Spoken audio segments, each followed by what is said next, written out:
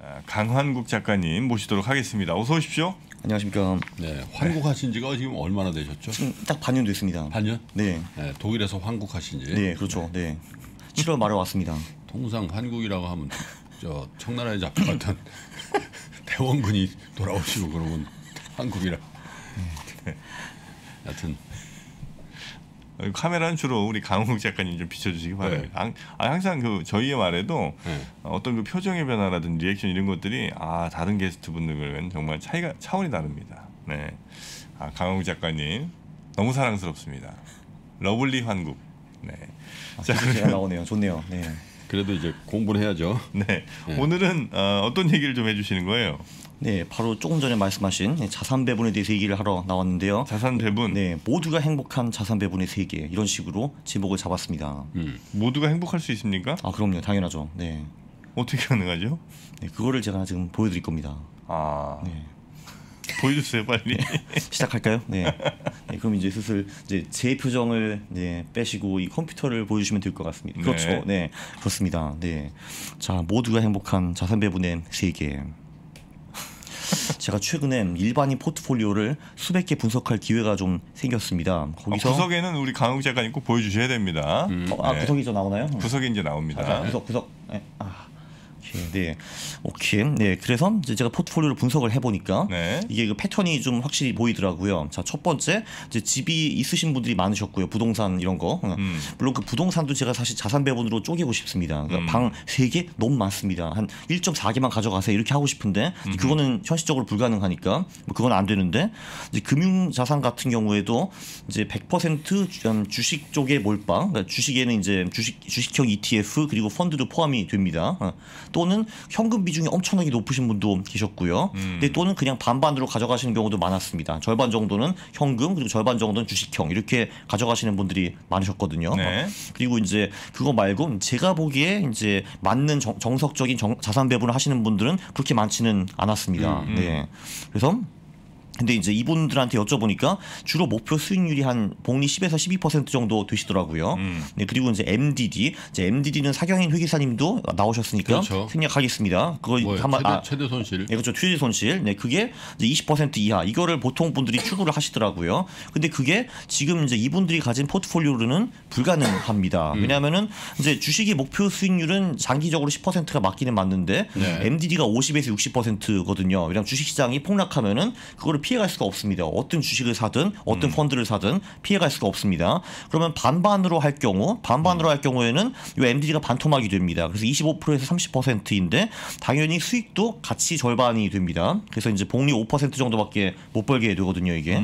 그러면은 이제 목표를 달성할 수가 없습니다. 이제 원하는 거는 목표 수익률이 10에서 12%고 MDD는 20% 이하인데 반반으로 해도 그게 달성이 불가능합니다. 네. 네, 그리고 100% 주식으로 가면은 수익률은 어떻게 되면 맞출 수 있겠지만 MDD는 절대로 못 맞추고 현금 같은 경우는 이제 MDD는 빵인데 그 대신에 수익도 뭐 아시다시피 요즘 예금 뭐1% 거의 2% 주는 것. 같더라고요. 네. 네, 그래서 안 됩니다. 그래서 그럼 어떻게 하면은 이거를 달성할 수 있는가? 목표 수익이 이 정도, MDD 요 정도. 그거는 자산 배분 또는 마켓 타이밍을 통해서 가능하다라고 저는 생각을 아. 하고요. 대략 이제 나 주식으로 혹은 뭐 투자로 벌고 싶다는 분들이 한 한 10에서 12%연 요 네. 정도 이제 벌고 싶은 분들이 많고 대신 네. 내가 최대 손실은 내가 한 20 정도까지만 내가 견딜 수 있겠다. 네.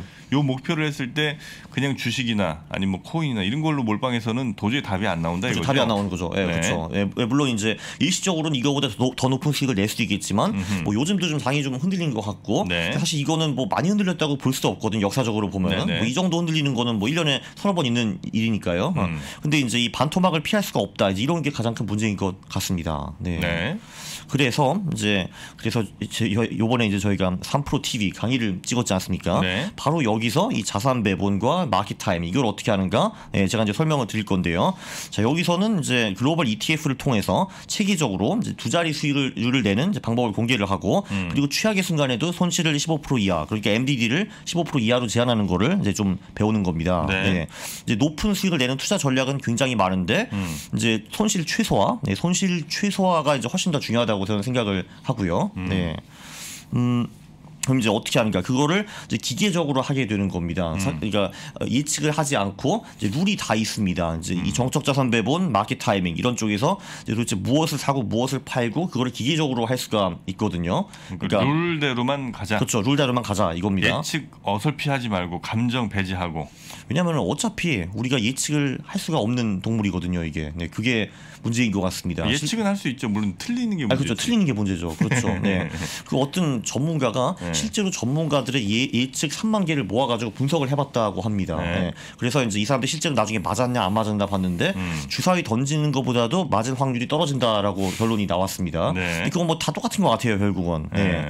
그리고 어, 그래서 이제 매월 구체적으로 뭘 해야 되는지 이제 설명이 네. 되고 그리고 과거 50년의 백테스트 실적도 네, 다 공개가 되고요.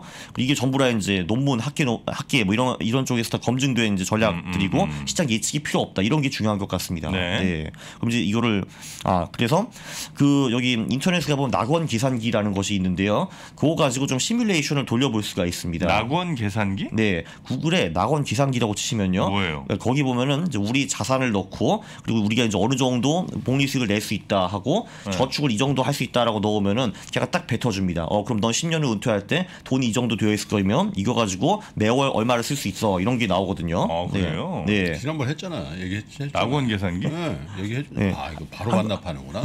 저는 전혀 얘기했어 아침에. 그죠? 네, 네, 했습니다. 예, 지난번에 했고요. 그래서 이제 어쨌든 이제 저도 뭐 이거 가지고도 한 최소한 두 시간 얘기할 수 있는데 이제 네. 조금 생략을 하면은 네, 그 이제 복리 4와 4%와 16%의 차이는 그, 그 우리가 월 월에 쓸 수 있는 금액이 10년 후에는 40배, 20년에 100배 차이가 나더라고요. 이게 보니까. 네, 네, 네. 그리고 복리 4%와 10%의 차이도 10년에 10배, 20년에 20배 정도입니다. 음. 네, 근데 대부분 사람들은 이제 반반 포트폴리오 이런 거를 또 많이 하기 때문에 음. 평균 음, 기대할 수 있는 복리 수익이 진짜 4, 5% 정도밖에 안 되거든요. 심지어 그 M들이 30%를 이제 감수를 하면서도 불구하고 음. 그래서 4%에서 10% 정도만은 올려도 음. 네, 10년 후 은퇴를 하면은 우리가 지출할 수 있는 금액이 10배로 늘어난다. 20년 후에 은퇴하면은 20배로 늘어난다. 이제 이런 얘기입니다. 네. 네. 그래서 그 아 그래서 여기 제가 그 정프로님 위해서 퀴즈를 하나 준비를 아, 했습니다. 퀴즈도 있습니까? 아, 네네 그렇죠. 아, 고맙습니다. 네 여기 1번, 2번, 3번, 4번이 있거든요. 네. 이 중에서 복리 수익이 가장 높은 게 어떤 거라고 생각을 하십니까? 20년 동안 매년 20% 수익 나는 거, 네. 어, 그다음에 20년 중 18년 동안 30%가 수익이 나고 두 번 마이너스 50 기록하는 음, 거. 네. 20년 중 17년은 40% 수익이 나고 세 번 마이너스 70% 기록하는 거. 20년 동안 18년간 매년 20% 수익이 나고 두 번 마이너스 50% 기록하는 거. 두 번이 근데 막판에 50 마이너스로 나면 조금 힘들 것 같고. 아 근데 어차피 상관없습니다. 끝 끝의 결과는 똑같아요. 네. 아, 그런가요? 네, 이 2년은 처음에 나고 18년 동안 벌거나 18년 하고 나다가 2년 하는 건 똑같습니다. 결과는. 네, 수학적으로 아, 똑같아요. 네. 그렇습니까? 네. 그럼 1번. 1번이요. 네. 어, 1번 맞추셨네요. 아니 나는 나는 나도 진행자예요. 나한테는 나는 네. 왜 참여를 안 해주나? 아, 너무 너무 빨리 1번. 맞추셨네요. 근데. 네. 1번. 아, 네. 그러, 그러면은 그 네. 어, 김프로님은 여기 그 1번과 4번의 복리 차이가 어느 정도 난다고 생각하십니까? 한 10배 차이 나나요? 아니요, 그 정도 아닙니다. 네. 그러니까 이게 1번은 이게 복리 20%라는 게 금방 보이거든요. 왜냐면 매년 그렇죠. 20%를 버는 거니까. 네. 네. 근데 그러면 4번의 경우에는 음. 똑같이 18년 동안 20% 수익이 났는데 두번 삐끗했습니다. 하락장에 와가지고. 음. 그럼 얘 복리 수익은 어느 정도일 것 같습니까? 4번은. 20%에서 얼만큼 디스카운트 되냐? 네, 그렇죠. 네. 어, 어떻게 한 알아요? 5%? 음, 어, 아닙니다. 네. 더 많습니다. 네. 나한테는 이렇게 어려운 걸 물어봐요. 한 40%. 어, 그 40%보다 더 됩니다. 이 보면은 이게 9.9%밖에 안 나와요. 이렇게 하면은. 아니 어떻게 40%라는 얘기를 하죠? 1번을 답이라고 해놓고서? 응? 1번이 답이라고. 아, 그게 아니라 그 음, 그러니까. 이제 20%에서 40% 떨어진다라는 아, 말씀하신 40% 거거든요. 네, 네, 예. 음. 근데 이게 그 한 절반 정도 차이가 납니다. 어, 별로 네. 차이 안 나네. 아 근데 이게 그, 어, 그. 결국은 그 20년 후에 금액을 보면 6배 차이가 납니다. 이게. 네. 그러니까 상당한 얘기예요? 겁니다. 네. 그러니까 그, 그렇게 아, 네네. 그렇죠. 너, 저는 이제 그걸 기준으로 한 거예요. 아, 네. 네. 아, 그 그렇게 이제 네, 네. 퍼센테이지가 아니라 음, 아, 네, 결과물의 그 최종 내 계좌에 얼마가 네네네. 있는가 그 차이를 제가 말씀드릴게요. 아, 네. 그 차이 엄청 난다는 네, 거죠. 여섯 여섯 배 정도로 합니다. 네. 그러니까 제가 아까 10배 그렇죠. 얘기한 게 거의 그- 거의, 거의 맞은 거죠. 그렇죠. 네. 그렇죠. 예, 그렇습니다. 네.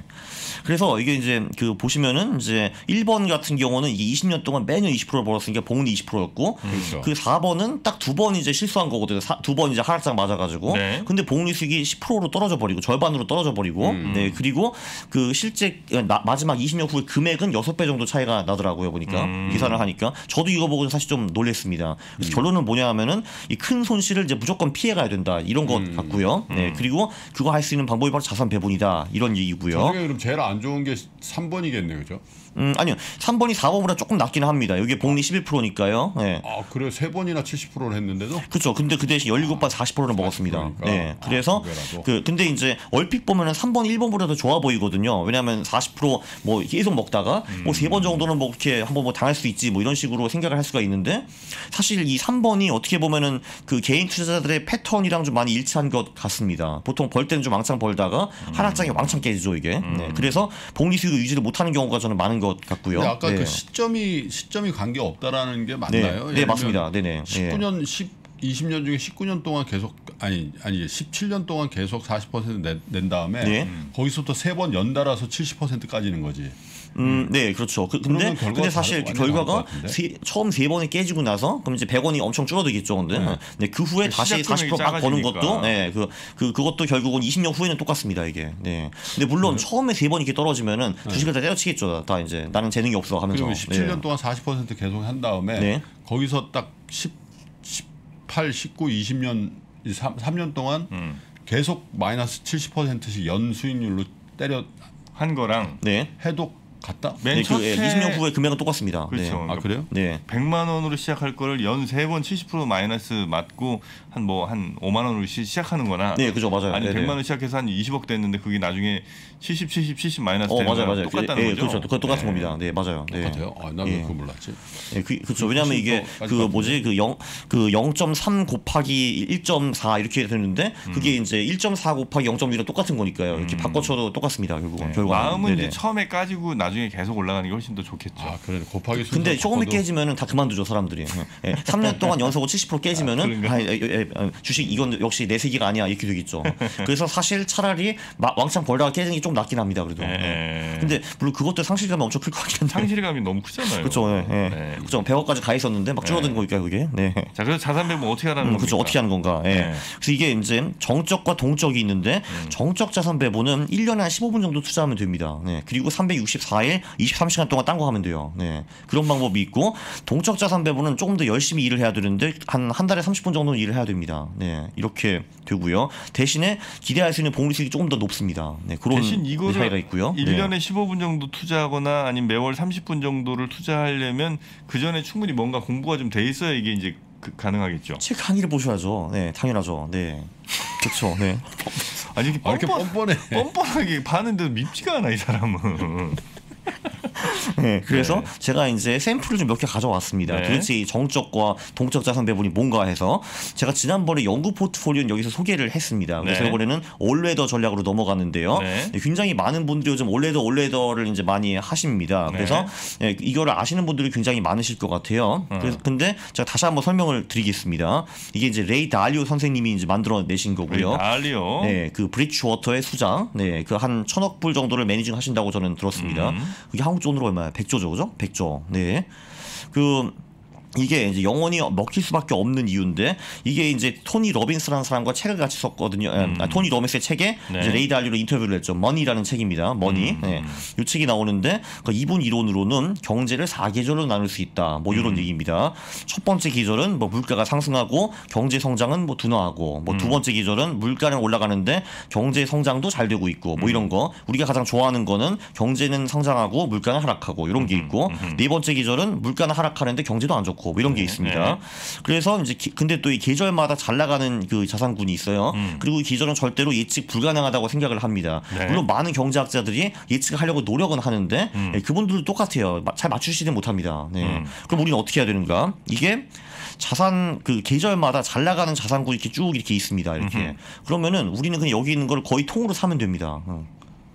아. 네. 왜냐하면은 어떤 계절이 오든 이 중에서 잘 나가는 애들이 있거든요. 지금 계절이 네. 언제인지 정도는 알 수 있으니까 음, 맞나요? 아, 아, 아, 근데 그거를 알아도 별로 소용이 없는 게 네. 사실 그거보다는 그러니까 미래, 그러니까 1년 후의 계절이 어떻게 되는가 이런 거를 맞춰야 되거든요. 네. 네. 근데 그게 어렵습니다. 왜냐하면은 이게 지금 음, 정확히 그냥 물가 상승하고 경제가 좋다라는 게 네. 그냥 물가가 플러스냐 마이너스 이걸 보는 게 아니라 그 소위 경제학자들이 예측하는 consensus라는 게 있잖아요. 음. 실제 경제가 그거보다 더 잘 되는가 못 되는가 이거를 보는 겁니다. 그래서 예측이 불가능한 거예요. 음. 네. 뭐 예를 들면은 뭐 2022년에 한국 경제는 뭐 2.5% 성장할 것이다 이런 식으로 consensus가 맞춰 있다고 하면은 음. 실제로 경제가 3%가 될 수도 있고 이제 1%가 될 수도 있는 거잖아요. 음. 네, 그거는 사실 우리가 맞출 수가 없는 거죠. 네.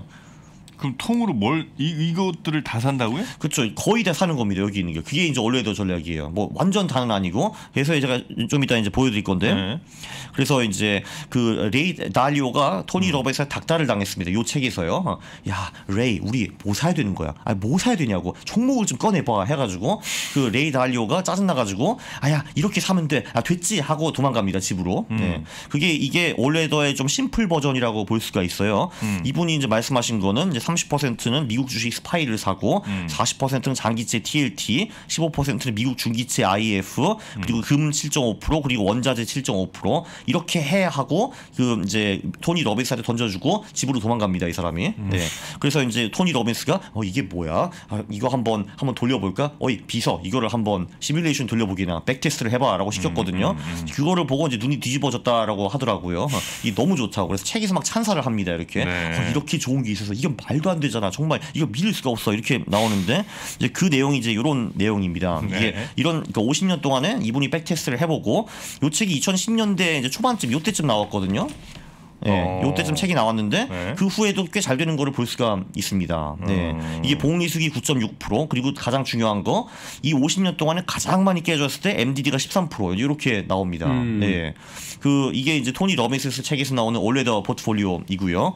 10% 이상 깨진 경우도 뭐 50년 동안 한 번, 두 번, 세 번, 네 번 그 정도밖에 없습니다. 네. 그러니까 요 스파이 장기채, 중기채, 금, 그죠. 원자재 요- 요거 요거죠. 네. 비중대로 해갖고 네. 사놨더니 네. 별로 할 것도 없는데 아 그리고 1년에 한번 네. 이제 이 비중을 다시 맞춰가는 아, 겁니다. 그 비중에 맞게 원래 그렇죠. 계획했던 리밸런싱 하는 비중에 거죠. 맞게. 네. 1년에 한 번 할 때는 뭐 30분이면 돼요. 음, 아마 그거보다는 더 안 걸릴 것 같습니다. 그래서 15분으로 적어 놓은 것 같은데요. 네. 그렇죠. 그냥 그 HDS 들어가가지고 뭐 예를 들면 어 스파이 비중이 35%가 됐네. 그럼 걔 아. 살짝 팔고 뭐 TLT 비중은 뭐 30%네. 아이고 많이 줄었구나. 그럼 얘 좀 사고 그렇게 하면 끝납니다. 네. 그러면 그것만 다시 했는데 네. 그것만 했는데 그렇죠. 예, 그런데 이제 이런 그 결과가 나왔다라는 겁니다. 네. 50년 동안 만 불이 100만 불이 됐다고요? 어 그죠. 100배 됐죠. 네네. 예. 그래서 토니 로빈스가 눈이 뒤집어졌다라고 합니다. 네. 이런 게 말이 되느냐, 이게 나라냐 하면서 이제 막 이렇게 막 어, 기, 기뻐했더라고요. 근데. 나라냐. 네. 그, 네. 그래서 어, 정, 정말 그분의 흥분이 책에서도 느껴집니다. 보면은. 네. 네. 그래서 이제 이걸 보고, 야, 레이, 아, 이거 너 고마워. 나도 이거 할 거야. 이런 식으로 나오거든요. 강한국 작가는 네. 저, 저렇게 해, 해봤었어요. 음, 네, 그 제가 근데 요것도 하- 했는데 그 뒤에 있는 거를 제가 사실 하고 있습니다. 네. 요것도 해봤을 때 몇 년 동안 유지해보죠. 저렇게. 그 요거 한그 한 2년 정도 한 것 같은데요. 계속 근데 이거의 가장 큰 단점이 뭐냐 하면은 이제 그, 아, 가- 아, 일단 장점부터 장점부터 설명드리면은 투자에 별로 관심이 없는 사람 하기가 너무 좋습니다 이게. 음, 예, 그렇겠네요. 그냥 왜냐하면 이제 1년 동안 딱 하고 일을 해보고 오니까 이제 이런 식으로 자산이 음. 불어나 있어요. 근데 저는 투자에 관심이 좀 이제 많은 사람입니다. 음. 네, 그래서 수시로 제가 새로운 네. 전략들을 개발하거든요. 그럼 이 사계절 포트폴리오대로 네, ETF를 만들어 갖고 네. 누가 팔면 되잖아. 어, 최창기 본부장님 예, 들으셨죠? 네, 여기 그렇죠. 저희 ETF를 만드는 겁니다. 네. 최창기 본부장을 왜 소환해? 아 여기, 여기 여기 매일 오시잖아요. 네. 그 매일 오시긴 하는데. 그렇죠. 네. 그러니까 이, 이런 게 ETF 있으면 네. 그냥 이거 사면 되잖아요. 네. 그리고 근데 그 요 요 상품을 제공하는 회사들도 있습니다. 네. 아, 그래요? 네, 아마 뭐뭐 제가 알기로는 저기 뭐 불리오도 있고 이루다 투자 이름도 있고 뭐 리츠코도 그- 있고 뭐 그런 데서 그런 그냥 들어가면 하는데, 됩니다. 이거. 음. 네. 그것도 뭐 방법이죠. 저렇게 뭐 1년에 한번 조정을 해야 되나? 음. 그냥 그냥 뭐 다우지수 저 S&P 사놓고 50년 버티면 되잖아. 그럼 100배 아, 되나? 예, 예, 근데 예, 그, 예, 그것도 사실 이거보다 수익이 살짝 더 높거든요. 그런 네, 식으로 하면은 그러니까. 아 네, S&P가 이거보다 높아요? 예, 조금 더 높아요. 이거보다 이거보다 그래? 높은데 S&P를 사지. 네. 아니 근데 그러니까. 문제는 뭐냐면은 네. 중간에 그 반토막 얻어 터지는 장이 계속 나옵니다. 예, 그 아 계속은 아니지만 그리고 지금 지금도 지금 나스닥이 제가 알기로는 최고점 대비 10% 떨어졌는데 네. 지금도 막 난리잖아요. 사실 근데 아 이거 어떻게 막 하면서 근데 뭐 30% 정도 떨어지는 장은 비일비재로 계속 나오거든요. 이게 예. 그 참으면 된다는 거잖아요.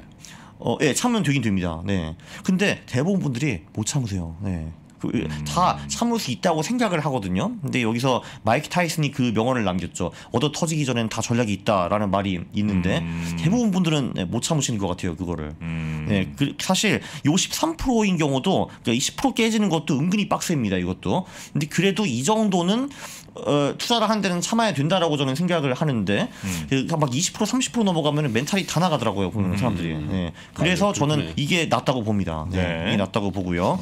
음, 네, 그. 음, 그렇죠. 그래서 이거 조금 전에 그 표 있잖아요. 네. 그 표를 보면은 이제 어떤 식으로 자산이 배분되었나 이렇게 나옵니다. 보면은 음. 네 이런 식으로 되어 있는데 그래서 어떤 계절이 오든 저는 어느 정도 들어 있습니다. 네, 그러니까 예를 들면은 물가가 상승하고 경제가 안 좋다 하더라도 금과 원자재가 이제 어느 정도 받쳐줄 거기 때문에 이게 포트폴리오가 어느 정도 유지가 되는 거고요. 음, 실제로 70년대 계속 물가가 상승하고 경제가 안 좋았거든요. 네, 그런데도 이 금 원자재 때문에 버틴 겁니다. 네. 네. 8, 90년대에는 경제가 그 좋았고 물가도 하락했는데 음. 이제 그때는 이제 선진국 주식 뭐 선진국 중기국지 이런 애들 잘 나가가지고 음. 뭐잘 되었고요. 그래서 이런 식으로 되어 있고 근데 요거는 이제 좀 물가 상승의 대책이 좀 부족하다라는 그런 이제 비난이 있습니다. 이게 요거는 네, 그래서 이제 그 김동주 대표 내일의 투자왕 김단테 유튜브를 하시는 이분이 브리지워터 논문을 여러 개를 파봐가지고 네. 네, 포트폴리오를 만드셨고 제가 조금 수정한 게 있거든요. 근데 이런 식으로 수정했는데 이게 좀 복잡한 버전입니다. 복잡한 버전. 네. 이런 아. 버전이 있습니다. 네, 요 화면을 딱 캡처하셔 가지고 이렇게 사시면 되고요. 요거는 지금 어 우리 강환국 작가가 만든 거예요? 아니요. 그 김동주 대표님이 이제 한 98% 만드셨고 저는 조금 고쳤습니다. 그냥. 네, 그거를. 네. 그 네, 왜냐면 지- 그분이 저 저보다 더 연구를 많이 하셨거든요. 저기 아. 그이 브리지워터 논문 이런 거를. 네. 그러니까 미국 주식 12, 선진국 주식 12, 개발도상국 12, 12, 네. 미국 장기채 18, 미국 물가 연동채 18, 회사채 7, 개발도상국 채권 7, 금 7, 원자재 7. 네. 이게 물가 연동채가 들어가 있는데 조금 전, 보통 채권은 물가가 상승하고 금리가 오르면 대책이 없거든요, 이게. 음, 네. 음. 근데 물가 연동채는 물가가 올라도 아, 근데 같이 따라 오르거든요. 비중이 굉장히 높네. 어떤 거요? 어. 물가, 물가 연동체. 아, 네 네, 그쵸. 18%라는 예. 건 굉장히 높은 거거든. 근데 사실 뭐 이제 물가가 늘 내려갈 수는 없고 특히 요즘 같은 경우는 뭐 미국도 난리잖아요. 음. 뭐 인플레이션 높다고 해 가지고 그럴 때 이제 얘가 받쳐 주는 겁니다. 그래서 예를 네. 들면 10년 전에 저 포트폴리오를 해서 물가 연동체를 네. 18%를 넣었으면 수익률은 굉장히 많이 깎아 먹었겠네. 음, 그렇죠. 근데 그 대신에 뭐 미국 주식, 선진국 주식도 있기 때문에 음. 얘네들이 또 받쳐줍니다. 사실 이게 이 올레더를 하는 게 그 조금 전에 그 제가 장점만 설명하고 슬쩍 넘어가려고 했는데 단점이 이겁니다. 이게 넘어가려고 예, 예, 했는데. 넘어가려고 했는데 그 단점이 뭐냐면 이렇게 많은 자산을 투자하기 때문에 예. 꼭 못난이들이 있습니다. 조금 전에 예. 말씀하신 것처럼 최근 10년 동안에는 금 금은 목회였는데 이 물가 연동체 얘네들이 좀 별로였을 그렇지. 거거든요. 이게 근데.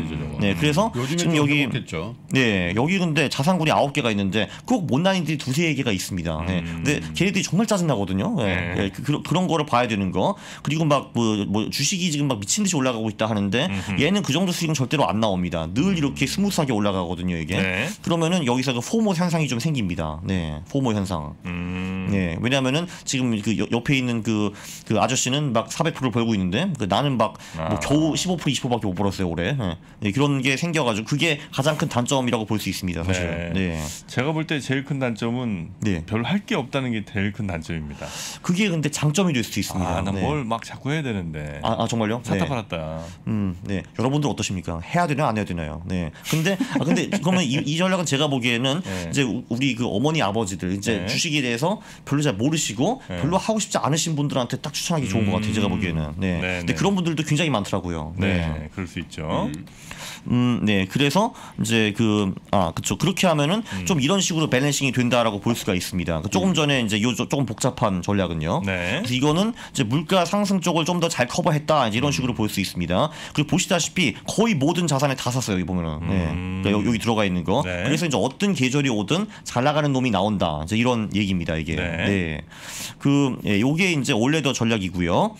그 음, 지, 그래서 동적 자산 배분 샘플이 하나 있는데 음. 동적 자산 배분은 아주 간단하게 말해가지고 보통 그냥 최근에 잘 나가는 놈의 비중을 올리는 겁니다 이게. 네, 그때 그때. 네 그때 그때 그렇죠. 네. 어. 음, 그 그런데 저는 사실 정적이냐 동적이냐 둘 중에 하나를 선택하라고 하면은 네. 동적 자산 배분을 권하고 싶은 게 네. 조금 전에 그 올레더 전략의 장기 수익률이 9.6%를 가기가 지금 좀 힘듭니다. 채권이 좀 너무 비싸 있거든요. 미국 주식들은 비싸졌고, 네.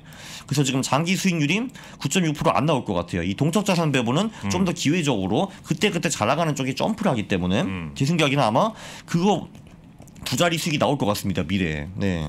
근데 이 동적 자산은 네. 결국 이제 시장을 판단을 해갖고 이제 좋아 보이는 거에 더 올라타자 이거잖아요. 네네. 예. 근데 이제 대체로 좋아 보인다 하면 이미 올랐을 가능성도 꽤 있는 거 아니겠습니까? 음 그렇죠. 네. 그래서 이미 올라탔을 때는 이미 늦은 건 혹시 아닌가? 음 이제 그럴 가능성도 당연히 있지만 네. 그래도 전반적으로 이- 특히 ETF 같은 경우에는 올라가는 놈이 계속 가는 현상이 굉장히 아, 강합니다. 네, 네, 네. 그 예를 들면은 뭐 그 미국 주식이 2009년부터인가 그때부터 오르기 시작했는데 음. 2013년에 가서도 벌써 4년 올라 있는 상태였거든요. 음. 그때 들어갔어도 계속 또 8년 동안 재미를 볼 수 있었습니다. 네, 네, 이게 네. 한번 트렌드가 생기면 좀 스트레이트하게 가는 경우가 좀 음. 많더라고요. 지금 그게 이견지자 모르겠는데. 네. 네. 그 어쨌든 그래서 LAA가 네. 이 동적 자산 배분 중에서 좀 심플한 전략입니다. 아, 네. 어떻게 하는 거예요? 이거 어떻게 하냐면은 그 전에 그 영구 포트폴리오라는 애가 있습니다. 영구? 영구 포트폴리오, 네, permanent, 그러니까 어, 어, 영구적으로 쓸 수 있는 포. 어, 음, 포트폴리오라는 건데 얘는 주식 금, 채권, 현금에 각각 4분의 1을 투자하는 포트폴리오고 이걸 제가 지난번에 여기 와서 한번 다뤘습니다. 음. 네, 그게 있는데 여기서 가장 큰 아쉬움은 현금 비중이 4분의 1이다. 얘는 돈을 못 번다. 이제 이런 네. 이런 얘기거든요. 그래서 이제 에, doctor 와우터 켈러라는 네덜란드 분이 요 LAA 전략을 만들어서 영구 포트폴리오를 좀 더 개선했습니다. 네. 그래서 그걸로 한 2% 정도 더 먹자라는 거예요. 영구 포트폴리오는 복리수익이 8.8이었습니다. 최근 50년 동안에 이것도 나쁘진 않았어요. 보면은 네네네. MDD도 낮았고.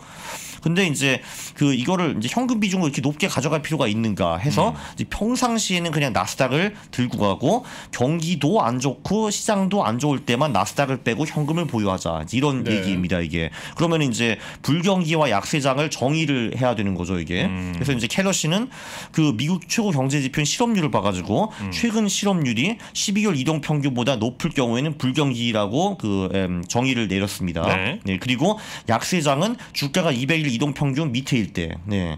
그리고 아. 요두 개 조건을 둘 다 충족을 할 때만 현금을 가져가자. 네, 그렇지 않으면은 나스닥을 가져가자. 이런 얘기입니다. 네. 어. 그래서 다시 그림으로 보이면 이렇게 되는 거죠. 네. 이게 여기도 시나리오가 네 개가 있죠. 호경기 강세장, 호경기 약세장, 불경기 강세장, 불경기 약세장 이렇게 나오는데 요때만 이제 단기채 또는 현금을 가져가는 거고, 네. 아. 나머지 때는 나스닥으로 그냥 가자. 그리고 그 주- 주식 채권 금은 그냥 비중이 동일하게 가자 네. 가는 거고요. 그래서 어떻게 보면 좀 되게 light한 에, 동적 자산 배분이라고 볼 수가 있습니다. 약세장을 그럼 뭘로 평가할 거냐는 네, 이제 그거는 200일 이제 요걸로요. 예, 그죠. 이평선보다 낮아지면 네, 그렇죠. 그리고 네. 경기는 실업률로 네. 12개월 이동 평균보다 네. 최근 실업률이 낮아지면 불경기다. 이렇게 이제 뭐 사실. 뭐 이 기준이 뭐 맞냐 틀리냐에 대해서는 왈가왈부를 할 수가 있긴 하는데 네. 이게 이제 하나의 버전이라고 보시면 될 것 같습니다. 그러니까 음. 이 LA를 또 계산을 할 수도 있겠죠. 왜 200일이야, 180일이야, 뭐 할 수도 있을 것 같고요. 네, 그 음.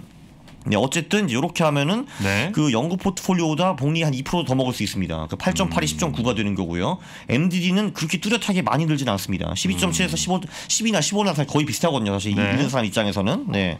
근데 이제 조금 더 이제 기회주의적으로 이제 투자를 할 수가 있고, 음. 네 대부분에는 나스닥을 가가지고 좀 수익을 더 먹되, 어 이게 주식시장도 경제도 진짜 아닌 것 같아요 하면은 그때 현금으로 점프를 하는 거죠. 네. 네, 그런 전략입니다. 이게 LA이고요. 네. 그 물론 이제 네, 질문이 좀 몇 개 들어와서 아, 예, 네, 예, 아 질문, 네, 네. 뭐 개발도상국 주식은 뭐 개발도상국 뭐 중, 예를 들면 중국 뭐 주식 ETF 뭐 이런 걸 사면 될 것 같아요. 네, 맞나요? 하여튼 뭐 그렇다 치고 네. 금이랑 원자재도 아까 그 정적 자산 배분에서 네. 나오잖아요. 예. 금은 뭐 금 ETF를 또 사면 되고 그렇죠. GLD가 있고요. 네, 네, 그리고 원자재도 DBC라는 게 있습니다. 원자재는 DBC. DBC. 예. 그거 써놓으니까 티커예요 저게. 아, 예, 그렇죠. 예, 저 써놓은 게 티커라고. 맞아요. 터- 서너 개 네. 티커입니다. ETF 그렇죠. 티커죠? 네, 다 티커입니다. 그래서 여기 그거 다 있죠. 돼 있잖아요. 그렇죠. 저, 그 한마디로 어 이게 좋은 것 같아 하시는 분들은 음. 그 당장 HDS 달려가셔가지고 저 티커대로 비중을 배분하시면 됩니다. 네, 그렇죠. 아 그럼 아까 이제 그 정적 자산에서 이제 그 미국 물가 연동체 이건 이제 LPTG 네, 그렇죠. 네, 좀 미국- 생소한 ETF지만 예, 이런 것도 있습니다. 네, 그러니까 전체가 다 그냥 ETF로 사면 되는 거네요. 네, 그렇죠. 네, 이건 당연히 이제 미국 시장에 상장돼 있는 거고. 네, 그렇습니다. 네. 그럼 이제 해외 계좌를 하나 열긴 열어야 되겠군요. 그렇죠. 네, 제가 사실 독일에 있을 때 이게 굉장히 어려운 줄 알았거든요. 음. 근데 심지어 비대면으로 꽤 심플하게 가능하더라고요. 네. 음. 그래서 뭐 한국인 더 쉬울 것 같고 네. 뭐정 안 되면은 이제 증권사 연락해가지고 음. 자 원격을 요청합니다. 하면은 다 알아서 친절하게 해주실 것 같습니다. 거기서. 네네네. 네네. 예. 그 그냥 뭐 저는 뭐 미래에서 쓰고 있긴 하는데 뭐 미래에서 좋아 쓰는 게 아니라 그냥 18년 동안 계속 쓰고 있습니다 거기. 음. 근데 뭐 되게 심플하게 편해요? 되더라고요 그냥. 편해? 네. 네. 편해. 네? 편해요. 어 그냥 쓰- 쓰니까 뭐 딴 거를 굳이 안 쓰고 있습니다. 네. 음. 물론 다른 증권사들도 HDS가 다 좋다고 봅니다. 뭐 네. 그 음, 그렇죠. 네, 그렇게 음. 이제 해외 계좌에서 ETF로 이제 사면 이렇게 자산 배분할 수가 있다. 네네네, 예. 네. 그렇죠. 그리고 다시 돌아가서 그러면 이제 이 LAA를 가지고 한 10.9%를 먹을 수 있었다. 그래서 영구 포트폴리오보다는 시- 음, 확실히 그래도 성적이 개선이 되고 음. 그리고 MDD는 조금 늘긴 했는데 많이 늘진 않았다. 이런 게 LAA입니다. 네. 요게 이제 동적 자산 배분의 하나의 샘플이라고 이제 보시면 되고요. 음흠. 이런 애들이 좀 당연히 좀 많습니다. 지난번에 제가 dual momentum이라는 전략을 소개해 한바 있습니다. 네. 그 네, 그것도 이제 감상을 하면은 그 얘도 이제 smooth하게 잘 올라가는 편이죠. 이렇게 잘 올라가고, 음. 네, 그 이게 제가 켈러 씨랑 직접 인터뷰를 한번 해봤거든요. 네, 오. 그때 한번 이제 방문을 하려고 했는데 이제 코로나 때문에 Zoom으로 했고 네, 그 후에 꼭 만나자 했는데 계속 코로나가 있었습니다. 그래서 못 갔죠 제가. 네, 제가 그 프랑크푸르트에 있었고 이분이 그 네덜란드에 계시거든요. 네. 켈러 씬 뭐 하는 분인데요? 야, 되게 재밌는데 이제 이분은 뭐 하시는 분이냐면 60세까지 투자를 안 하셨어요. 네. 근데 이분이 콘트의 운명이었습니다. 왜냐하면 계속 뭐 한게 수학, 뭐 통계 해가지고 박사학위도 받으시고 음. 통계청에서 임원까지 가셨어요 이분이. 네. 네. 그래서 그 후에는 컨설팅 하셔가지고 돈을 왕창 버신 다음에 네. 투자를 하려고 했는데 금융기관한테 맡기니까 이제 수익이 빵프로 나왔다고 합니다. 네, 수수료만 네. 받아먹고 네. 그래서 아 이거 내가 제- 직접 해야지 해가지고 60세부터 투자를 시작하시기 시작했는데 이게 너무 재미있으니까 이제 매년 논문을 한- 하나 씩 내십니다. 1년에 한 권씩. 음, 음. 네. 그렇지만 10권 정도 내셨고요. 그, 네. 왠지 지금 계속 돌아가실 때까지 계속 내실 것 같아요. 논문을. 1년에 하나씩 내시더라고요. 네. 돌아가시는 얘기. 아니 이분이 유명한 분이에요. 네, 그래서 이 동적 자산 배분기에서는 뭐 거의 가장 연구를 아. 많이 하시는 분이죠. 놀랍게도 근데 이분이 70대라는 거죠, 근데. 아. 네. 네. 그, 네, 그리고 본인이 이 전략을 쓰신다고 하시더라고요. 네네네. 왜냐면 이 전략이 이제 그 이게 이름이 LAA가 레타지 게으른 자산 배분이라는 거거든요. 아. 그래서 그 나스닥에서 현금으로 왔다 갔다 하는 게 1년에 두세 번 있을까 말까예요. 그러니까. 네, 그렇기 때문에 거래를 거의 안 합니다, 이게. 음. 네. 그래서 그 본인한테 잘 맞는다. 본인은 거래를 자주 하는 거를 싫어한다라고 말씀을 하셨어요, 이분이. 네. 음. 그래서 이제 요런, 요런 전략도 있고 그 물론 강의에는 좀 더 자주 거래하는 전략들도 네, 나옵니다. 네. 그건 사람마다 다른 것 같아요. 저도 거래하는 걸 썩 별로 좋아하는 편은 아니거든요. 네. 음. 근데 매월 거래를 해야 되는 그런 전략들도 있습니다. 네. 네. 그, 그리고 MDD도 뭐 제가 보기엔 견딜만 한 것 같거든요. 15% 이상 깨진 게 뭐 한번 있었 한 번 두 번 정도 있었던 것 같고 음. 네, 최근에 뭐 금융위기 때는 당연히 좀 깨졌고요 이때 네 근데 뭐 15% 이상 깨진 적은 사실 별로 없죠 MDD가 15%니까 네 음. 요 정도가 이제 네. 마이너스 나봐야 요 정도 나더라. 네, 그렇죠. 이 정도 나옵니다, 보통. 네. 네, 50년 동안. 네. 어 그러면은 그, 예, 그 어, 저희 이제 강의 홍보 자료를 보니까 추- 노하우 대방출이라는 말이 있더라고요. 그래서 음. 이제 당연히 이 강의에는 추가 노하우도 대방출이 됩니다. 네, 이거 예를 들면은 심지어 거기 제가 투자 심리 얘기도 굉장히 많이 다루거든요. 네, 네. 그래서 MBTI별로 포트폴리오 정리하는 거 이런 것도 이제 나옵니다. MBTI. 네, 전 참고로 ISTJ거든요. 보니까 저희 성향은 리스크를 굉장히 싫어한다라고 이제 나오더라고요. 아. 네. 그래서 뭐 예를 들면은 뭐 MDD를 7.9%까지 떨구는 그런 전략들 도 있습니다. 보면은 7.5, 9, 8.5 여기까지 떨구는 전략도 나오고 네. 그래서 이제 이런 타입들 조심스러운 성향들 이제 MDD 낮춘 투자에 집중해야 되는 사람들은 뭐 이런 게 어떻겠냐 뭐 이런 식으로 제안 같은 것도 좀 나오고요. 네. 그리고 그 Excel 파일도 다 제공을 합니다. 50년 어. backtest 결과.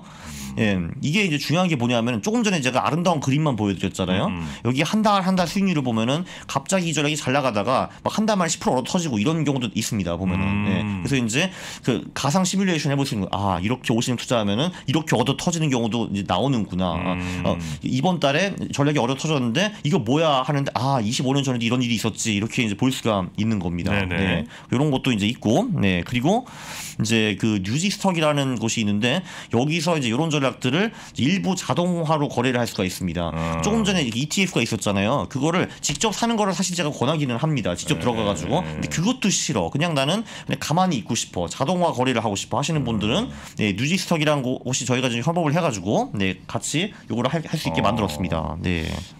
다시, 네. ISTJ라는 거에 놀라는 분들이 많습니다. 아 정말요? 네. 제가 제가 제가 모처럼 보이십니까? 어. 아니 그러니까 이 성향으로 많이들 생각을 하시는데 그 이제 MBTI라고 그 아니, 사람 그러니까 그게 IS 그건 무슨 성격인데? 아이- 아. 그거요? 아 네. 여기 나오는데 현실적인 계획을 세운데 능하며 남들보다 조심스러운 성향입니다. 네. 음. 그 위험한 투자는 쉽게 스트레스를 받고 계획적인 저축에는 좀 강하다라고 합니다. 네, 네, 네. 음. 네, 뭐 저랑 대충 맞는 것 같습니다. 아, 네. 그러니까 남들보다 조심스러워요? 아, 네, 그렇죠. 저는 이제 리스크를 썩- 썩히 좋아하지는 않고 MDD 낮추는 거를 최우선으로 봅니다. 저는. 네. 네, 저, 아, 저는 이 아이가 맞죠. 저는 에, 그, 에, 다른 사람들 만나는 거 부끄러워하고 그렇습니다. 아, 네. 예, 새로운 사람? 만나고, 네네. 예, 예. 저는 INTP입니다. 참고로. 아, 네네. 어, 저 저도 사실 그 예, 정프로님이 이인 줄 알았는데요. 예. 아, 그래요? 네네. 예. 아 예 아 예. 아 이거 아이 방송이구나. 예. 혹시 네. 김프로님도 해보셨습니까? 해보긴 했는데 그 뭘 기억이 안 나세요? 기억이 안 나는데 네. 100명을 했거든요. 네. 어떤 모임에서 한 거야. 예, 예, 예. 100명이 했는데 네. 딱한명딱 나왔어요? 두 명 나왔더라고. 그 어, 두 네네. 명에서 만났어. 아 예. 어? 만나서 이 대화를 해보더라고. 나를 보는 줄 알았잖아. 진짜로. 아니 근데 그분도 나이가 나랑 비슷한 분인데 진짜요? 예, 예. 특징이 뭔지 알아? 둘이서 막 얘기해서 어떤 특징이 있냐 그랬더니 만약 회사에서 회의를 한 시간 하는 거야. 네. 임원 회의나 뭐 이런 거 하잖아. 그러면 네. 아 5분 만에 결론 다 내고 음. 결론 다 나 있어. 딱 시작 회의 딱 시작하면서 5분 만에 결론 다 내, 내, 낸다. 그러, 그러고 어쨌든 여하튼 뭐랄까 주도형이고 주도형. 아 주도형. 예. 주도형이고 뭐 그랬던 것 같아. 음. 어, 그, 근데 알파벳으로 뭔지는 잘 모르겠어요. 그러게요. 그 ISTJ는 제가 알기로 한국인 중에 가장 많다고 저는 들었습니다. 네. 아 그래요? 예, 그래서 두 명 이상 나왔을 것 같아요. 아마 아, 저는. 네. INTP는 뭐 듣기로는 뭐 인성 16이라고 예. 이게 총 16개 정도의 성향이 나오거든요. 네. 그 네, 그죠. 중에 인성이 제일 쓰레기야. 그, 아. 지금 저- 인성이? 인성이 뭐 그런 얘기가 있습니다. 네. 아니야 두개 두 개나 두 명 나왔는데 진짜 깜짝 놀랐다니까. 아, 예. 그게 똑같으세요? 그분, 그분 도 굉장히 빨리 임원이 되셨더만. 어, 아, 그, 아, 그 이- 임원 MBTI가 있군요, 그거. 어, 진짜 그거 빨리 안 하겠네요. 그거 무슨 MBTI인지. 네. 네. 자기가 최연 최연소 임원이래. 아, 그렇습니까? 어, 네네네. 네. 근데 저도 그때 그랬거든. 근데 어, 얘 해보니까 너무 비슷해. 어, 네네. 어, 우리 회의를 길게 하면은 막 짜증나죠. 짜증 막 나고. 네. 다큐 아 이거 딱 회의하면은 얘, 내가 임원 때 사장님하고 딱 회의하면 아 끝내 회의 끝날 때 사장님이 이렇게 얘기하겠네. 그러면 딱 그렇게 얘기하더라고. 아, 네네네. 오, 예. 자 지금 이제 아, 곧 시작되니까요. MBTI가 있습니다, 여러분. 네. 네. 이번 시간은 이제 요 정도로 네, 네. 마무리하도록 그렇게 하겠습니다. 얘기할 줄 알았어. 네. 네, 자 우리 강환국 작가님 강의도 잘 되시길 바라겠고요. 아, 조만간 또 뵙도록 하겠습니다. 저희 시간에 한번 또 봬요. 네, 어, 그럼요. 예. 네, 그리고 우리도 또, 재밌게 한번 또 가야죠. 예, 네. 자, 자주 아, 근데- 오면 좋겠습니다. 네. 그 자주 정프하고 잘 불러주십시오. 맞는구만. 네, 나는 아. 그냥 거의 어? 뒷방이야. 보니까. 우리 젊은 세대가 이제 바꿔 나가야 됩니다. 아시겠죠? 아, 예, 젊은 세대. 네, 젊은 우리 세대. 젊은 네. 세대가 바꿔야 돼요. 아니, 내가 그렇게 구애를 해가지고 독일에서 모셔왔더니 혜택은 적프로가 보는구만. 네, 어르신들은 이제 편하게 좀 저희가 모시고. 네. 저 하지 말고 저 올해든지 그걸로 바꿔놔. 아 저요. 그래야 될 것 같아요. 아니, 있잖아. INTJ가 가장 그런 잘한대요, 투자를. 우리 딸내미가 카톡이 온 거야. 네. 아빠 주가가 왜 이렇게 빠져? 내가 음. 취직할 때 야 S&P 6개월에 한 번씩 음. 6개월에 한 번씩 5천 불씩 사라. 음. 네. 두번 샀는데 네. 거의 수익이 이제 안 나고 있다고 음. 어떻게 해야 되냐 그러는데 음. 그럼 뭐 원래대로 알려드려야죠. 원래대로 알려줘. 알려주셔야죠. 예. 요때 딱 왔네. 아, 그렇죠. INTJ가 투자를 제일 잘한다고요? 네. 어. 그리고 F FP가 잘 가장 못하신대요. 아, 네. 그렇습니까? 네, 그런 게 있- 있습니다. 네. 알겠습니다. 자, 하여튼 우리 강욱 작가님은 조만간 다시 저녁 시간에 모시도록 하겠습니다. 자, 함께해 주신 강환국 작가님 대단히 고맙습니다. 감사합니다. 감사합니다. 네. 아니 다른 거 좀 보여주세요. 다른 것도 다 마이너스 대충 파란색은 보셨잖아요, 그죠? 네. 예, 이런 거좀 보셨잖아요. 약세장 만나니까 대응하기가 쉽지 않으시죠? 안녕하십니까 강원국입니다. 자산 배분 전략의 달인 이 강환국 작가가 속 시원하게 해결해 드리겠습니다. 가장 중요한 거는 이렇게 투자를 하면은 최악의 순간에도 그 10에서 15% 정도 손실 보고 끝난다 뭐 이런 겁니다. 하락장에서의 손실은 제한적으로 그 사실 복리 15%가 아무것도 아닌 것 같은데 네. 이렇게 하면은 원금이 4, 5년에 한 번 더블이 되고 50년 동안에 1000배 이상이 되는 거를 볼 수가 있습니다. 복리의 마법으로 수익은 길게 강환국 작가의 자산 배분 전략과 함께 성공 투자하시기 바랍니다.